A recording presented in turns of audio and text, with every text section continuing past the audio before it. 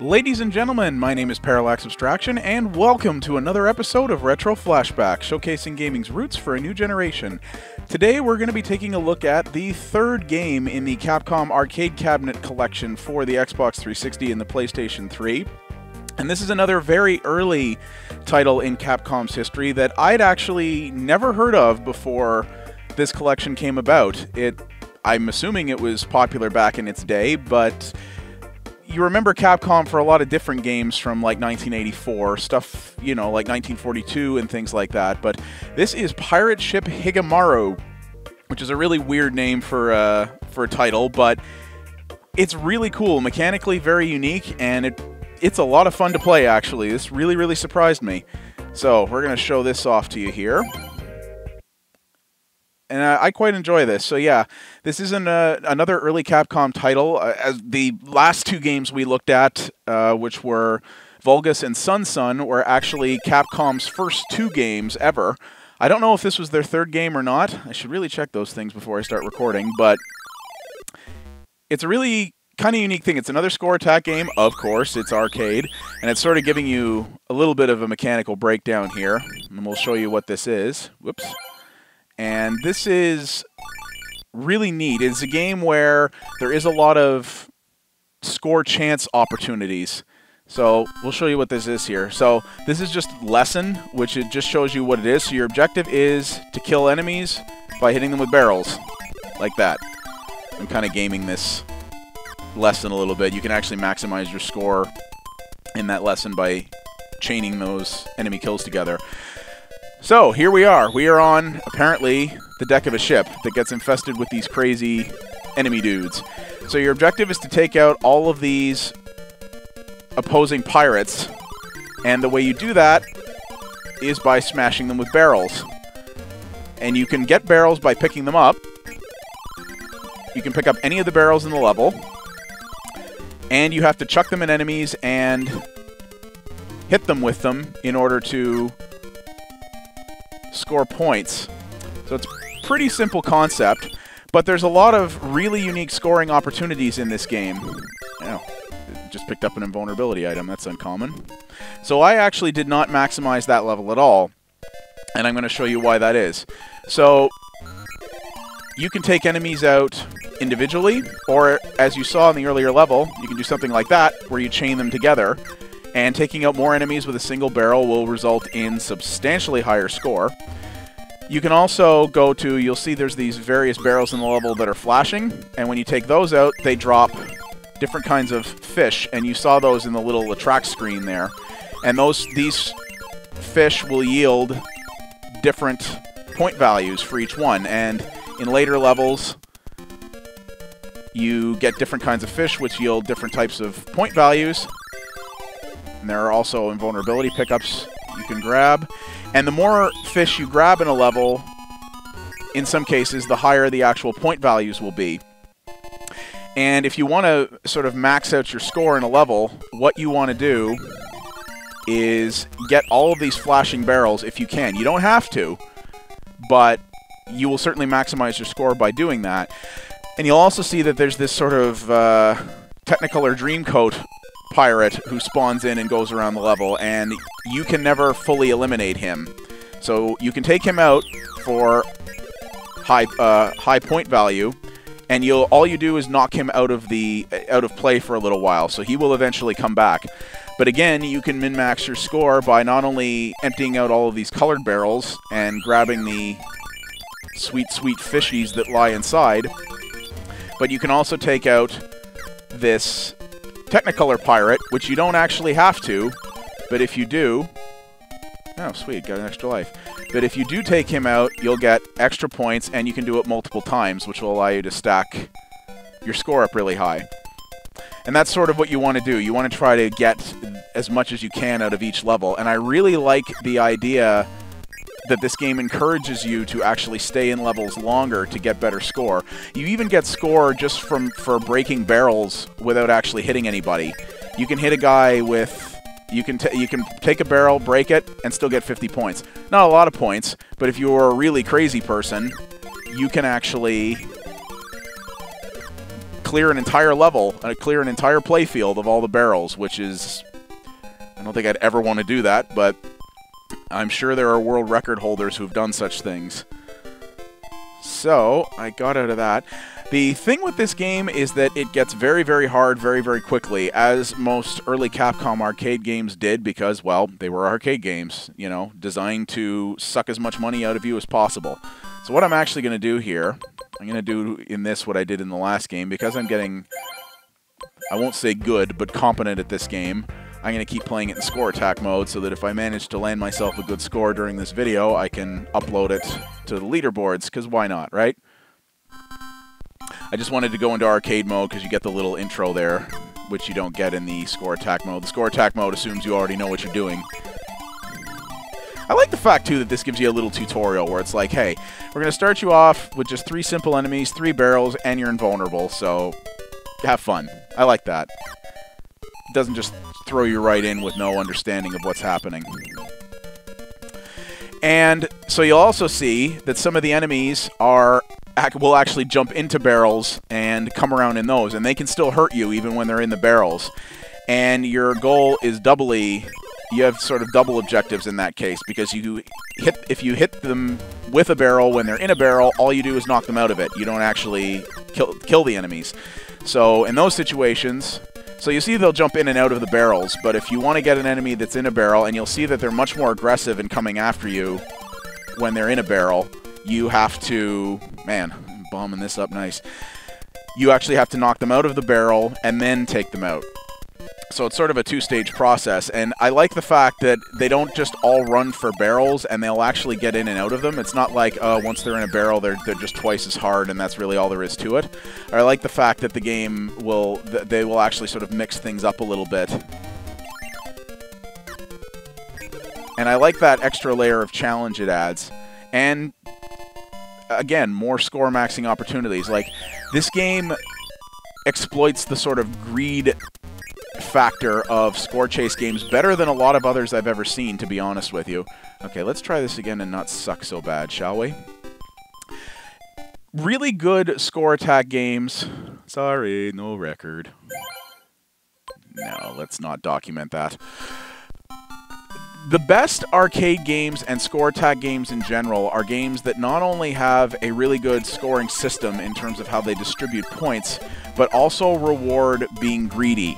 If you want to progress far into this game, you can by simply making a beeline to take out all the enemy pirates as fast as possible and letting that be that. But the, the best games are the ones that give you multiple opportunities to, to exploit a risk reward, to work to but make things purposely harder for yourself, but in the interest of getting that better score and getting that better position on the scoreboard. And this does that in an extremely good way because you have the fish barrels, you have opportunities to try to line enemies up so that you can ah so that you can uh, take them out in a chain. You can try to stick around a level longer to take out that Technicolor Pirate multiple times if you want to max your score out that way. It's all optional, but you are incentivized to do that if you want to play the game that way. If you just want to see all the levels, sure, you can do that if you like.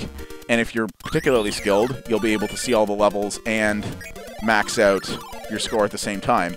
Some of the top-end leaderboard replays of this game are berserk. Like, they're clearly done by guys who just know how the AI works, just know how to sort of manipulate the formula in the best way possible. And I mean, I've never been good enough at any game to do that. I was at one point good enough at Pac-Man, what was it, Pac-Man Jr.?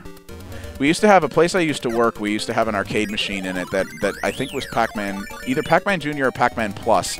And I was exceptionally good. I'd played that game so many times that I could completely game my way to a maximum score through like the first five levels, I want to say. But that's the only game I've even been remotely that good at. But that's what keeps me coming back to this. This is one of the games I've played the most in this collection, actually, when I haven't been recording. And that's because the way the scoring system is designed in this is really, really good. So many games just either don't put in enough greed score attack opportunities, or they just have a poor scoring system. Also, yes, when you're invulnerable, you can just touch enemies and knock them out. You don't have to hit them with barrels. But so many games don't give good score attacking opportunities, or the scoring system is so poorly designed that you can either game it and exploit it, or you just have to play it in a way that's not entertaining in order to, to get the maximum score. This game actually gets more fun the more you try to utilize that greed factor. And that's really key when you're designing a fun arcade game, a fun score attack game, is you have to make it more fun to take risks than it is to not take risks. And that's what this game is. This game would be fine enough on its own if you wanted to just uh, to if you wanted to just play it through through the levels. It, it's still good enough that way, I guess, if you want to put it that way. But it rewards you. All right, high point deck. These are cool. It's a, it's a bonus level, but it's a bonus level. It's not a dedicated bonus stage, and I pretty much bombed it. So the way that that deck works is really, really cool. It's nothing but Technicolor Pirates, so you can keep playing the level as long as you can keep yourself alive. Oh, I didn't. Oh, okay. I thought when you died in that level you were screwed, but no. So you can keep going after these guys, and everything in the fish barrels is high point values. So you're actually picking up, I guess those are corncob pipes. Oh, jeez. Yeah! I'm actually doing really well at this level. And these are all worth crazy high point values, as you can see. And I've, I've actually never gotten all the way through this before, let alone owned it like this. Yeah, but I think... Okay, so you just have to take out the parts a certain number of times. I thought your goal was to get all the high point barrel items. Now, I will say one thing. You'll see that I how badly I screwed that up there. You'll also see there at the top, under the top score, is little representations of faces, those are how many enemies you have to take out in the level. So that will go down every time I take out one of these pirates with a barrel, and I have to get that many out in order to pass on. The one thing I will say about this game, very much like with SonSon, is that this is a game that does not benefit from the Xbox 360 controller. I'm trying to play it with the D-pad because this game is just an, a mushy mess with the analog stick, and it's better with the D-pad, but not great. That's going to be a pretty good score attack, I think. All right. Yeah, that's that's the only other problem is that this is best played again with either a third-party controller, the updated 360 controller that has the twisty D-pad, or oh, nice or with an arcade stick if you have access to one. I really need to get mine back from Styles because that's the that's the way to play this game very much. Yeah, with the 360 controller, it is. There have been many times that I have died in this game.